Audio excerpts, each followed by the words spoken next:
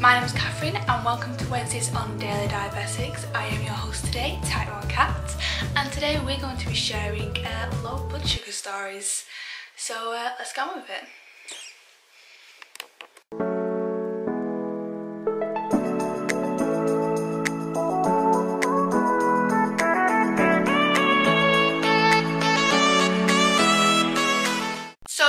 Familiar with my main channel which is Type1Kat which I've already mentioned um, it's actually a story that I've already put on there. Unfortunately because I've only been diabetic for two years and for most of it I'm very lucky with the fact that I don't have I've not had many instances. The only stories I have to share are the ones I already have shared but um, I'm hoping I'll be able to describe it a little differently. I have run through the video once um, just watching it on my channel and I have the notes that I made. Let's see how it goes. Uh, today's story is going to be called The Cookie Disaster. So this all happened, I know it was the beginning half of 2018, so um, still in the same year I'm in. Right now um, I was in my previous job and the lunch hours were 1 till 2pm uh, so we have an hour's lunch. So I've done my lunch, I've had my lunch as normal. It would have been around four to five um, units of insulin or carb. Um, so 45 grams of carb to 50 grams of carb. I can't remember it was ages ago. Um, but I do remember that day that someone had brought a pack of cookies in and I am have quite a big sweet tooth. Um, cookies aren't generally something that I generally have. Um, not for any particular reason, it's just something I don't normally gravitate towards. I'm more of a chocolate person. Um, but I do I do quite like a cookie. It was one of those big softer ones, my favourite. Um, so we brought these cookies in and they I remember they were like white chocolate and something. Let's say it's white, white chocolate and rhubarb. It was something along those lines, like quite a fancy one. Um, so I'm not one to deny myself uh, just because I'm diabetic. I like to just take it in my stride and just deal with it um, how I can. So I decided that I would have it about 4 o'clock because it's a good while after lunch, um, good two hours after lunch, good two hours before um, tea. It's generally when I have a snack because um, I find that it helps uh, balance my blood sugars out um, nicely if I want to have anything. So I decided I'm going to do them. So it has come to... Oh. Never mind, I didn't have it at 4, I had it at 3, I'm not even reading my own notes. Right, so it's 3 o'clock, I'm testing my blood and it's 12.5, which I'm thinking, mm, that's quite, it's quite high. And I'm thinking back and I'm going, I can't even remember doing my blood at, at lunchtime. Um, so I check on my pen. So if you click on my pen, it tells me the last time or gives me, it tells me what my last injection was and then gives me an indication of how long ago it was. And from that I could tell, yeah, my last injection was at lunchtime, um, at breakfast. So I didn't even do my lunch. Um, so I decided that I was going to inject eight units. Um, four for my lunch and four for the cookie. Um, I remember in my last video I was talking about how I was thinking the cookie would be more than that so I've done a bit less so I'm trying to avoid a hypo. Obviously this didn't work. Um, so I've done 8 units and it is now uh, quarter past 3. My blood is 8, um, 11.8 so that's okay, it's a little bit lower. Um, and then I'm testing it at half three and it's gone to 11.7. Uh, so it's dropping like a, a point, which is nothing. I'm testing it at an hour later and it's dropped from 11.7 to 4.6 and I'm like, oh jeez, this is not good. So I am very keeping a very close watching it. So I'm doing it 10 minutes later and it's dropped for, to 4.2. So I don't like the fact that it's still going down. Um, I gave it those 10 minutes to see if maybe it petered out. Um, I don't have a con continuous glucose monitor or anything. I'm just simply using what I'm feeling in my body, like how I feel within myself and um, using a finger pricker. Um, um, this would have been perfect moment to have a glucose monitor, which is obviously a reason why they are very useful to people. Um, but I personally don't have one. Um, so I want to do something. Right, so at this point, I'm like, I don't like the fact it's going low. I'm, it's going even, like it's going down even quicker. I'm going to do something about it. So I decided to take a, what are they called? A glucose juice. Um, luckily, a Mm, I don't know how much before that but previously to this day I had done a video on hunting for hypo treatments which I go around all the Boots stores in my town and finding what hypo treatments I can get hold of and one of them was a glucose juice so luckily I had this on me.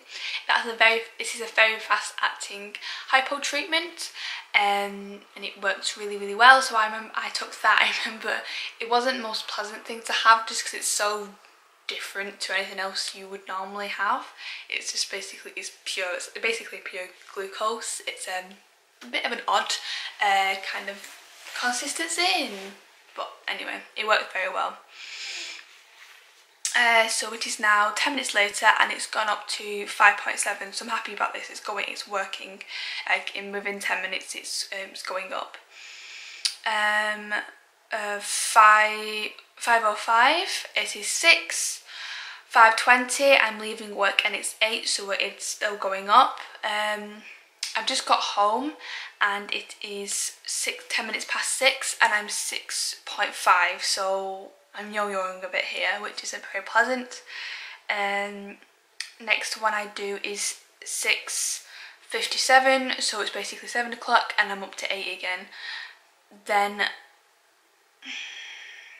I've just gotten to my boyfriend's house because I was staying over the night. It's eight, half eight and I am 5.2 so I'm still yo-yoing. It doesn't feel great. Um, but like I said in my last... Oh, I tested my blood because I was having three units of chocolate. Um, so don't know what chocolate I was eating, but obviously I'd eaten some chocolate and I'm testing my blood and that's why I found out I'd gone down again. It doesn't feel great um, to do this yo-yoing, but at least it's it's between 8 and 6, so it's not the worst, it's not the biggest yo-yo in the world. Um, at quarter past 11 we'd ordered some takeaway. Um, I was having some chicken fillets and two slices of pizza and I tested my blood and I was 2.5. I didn't even feel this hypo, um, so that wasn't great. Um,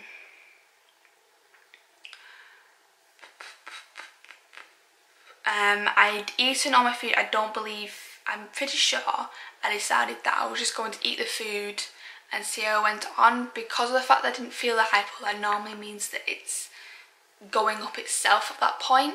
Um, so I had to eat the food. So at half 11 I tested it again and it's 6.4. After eating all my food, probably going to go. So, feel it. Okay, and then so it's 6.4 at this moment, so I decided, right, the hypo has fixed itself. Um, I'm going to do five units for what I'd eaten. I test my blood at 1, oh, it's basically 2, 2 a.m. at this point. Um, fallen asleep beforehand and my boyfriend had waken me up as he was getting ready for bed. Um, and it was 3.7 so I'd gone low again and I decided to have two glucose tablets, which by the way I don't like, they're not nice. It tastes like, um, it's too dry. It's a very, uh, it's a bit of a um, eating ice kind of, um, not in the fact that it, it's that kind of, it goes through you. It's like eating, oh it goes through me a bit, like eating, it's like eating sand or something, but like, I don't know. You know what I mean, if you had them, I really don't like them. Um, it must have been just before I'd um, done that video, um, just after I'd done the video because I obviously had all these things on me. Um, so, like I said, at, oh well, it was 1.49 when I tested my blood first and it was 3.7 and then at 1.57, so 10 minutes later, thereabouts, just less. Um, I tested my blood again and it was 3.1 and I remember saying that I hadn't even noticed that it was dropping down. It was um, Sam that had noticed that um, it it was um, had gone down to, to 3.1. I just remember that it was 3 um, but I really hadn't noticed it because I was half asleep. Um, so at that point I had one more glucose tablets and a one of my Nature Valley bars. I'm pretty sure it would have been, um, what are they called? Um, one of the Crunch Oat Dark Chocolate bars, which is like the ones where you get two in one, like a pack. I think that's what it would have been. It would only been 10 grams of carb if it was. Um, and then five minutes later at 2.04 and my blood is 4.7 so it's finally going up which is a relief. And then I must have decided that it was that was fine at that point so I'd gone to bed. And then when I woken up at 9.48 uh, my blood was 6.9 so a very nice score to wake up to. Um, um, like I said I don't have a continuous glucometer so I can't tell you what it was doing throughout the rest of the night but luckily it seems it went it fixed itself and it was alright. Pretty sure the days after that it was fine um, so I'm pretty lucky with that. Uh, but yeah that um, that teaches me to forget to do my lunch.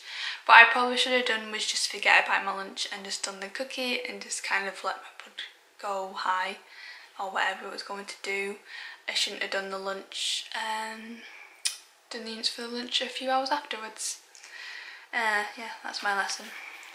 Um, like I said, that was last um, kind of big story I had. It was a few months ago. Uh, when I have hypos, the there's generally no real story behind them. Um, it's generally I've done a bit of too much insulin. I'm generally in a pretty normal situation where I'm at home or not doing anything too completely dramatic or different to have a story about it. Um, I was trying to think of a story to do for this um, weekly collab and I was thinking imagine if I'd had a hypo during an interview or something um, that would have been interesting. It would have been really rubbish and not very nice that I have but at least would have made a story. I don't know. Um, but yeah, I hope you enjoyed the story. I hope you can learn a lesson from me. Uh, don't do that. Don't do the, um, the, yeah.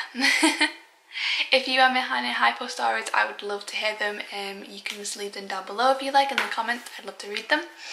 And yes, I really hope you have a great week and I can't wait to see you next week. Bye.